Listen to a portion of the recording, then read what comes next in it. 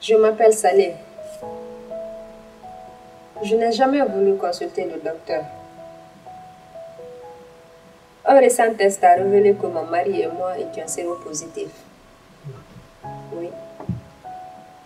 Je savais que j'ai le sida. Mais je n'ai jamais voulu que cela soit découvert par la société. Mon mari et moi avions décidé de ne pas faire d'enfant qui ne va pas survivre. Donc, euh, nous avions pris des précautions et nous avions gardé le secret.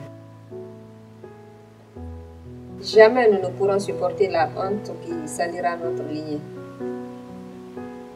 Un jour, je découvre cette grossesse, sachant que le sida n'a pas de remède et que l'enfant que je porte n'allait pas survivre.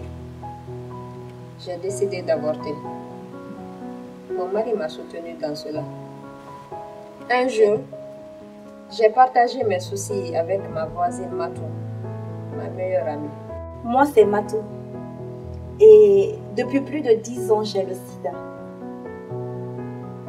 C'est mon deuxième geste. Salé avait très peur. Oui. Pour elle, elle avait, elle avait perdu tout espoir pour son enfant qu'elle attendait. Alors je lui ai prodigué des conseils et nous sommes allés voir euh, le docteur à l'hôpital. Le sida n'est plus une fatalité, madame. Si vous êtes testée séropositive, vous devez être immédiatement mis sous traitement afin de sauver votre vie et celle de votre enfant.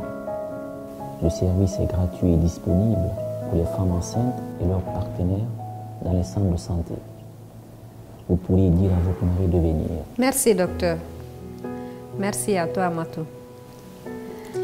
Je garde ma grossesse. Je vais poursuivre mon traitement à l'hôpital. Et je sais qu'avec le traitement disponible, je donnerai naissance à un enfant sain.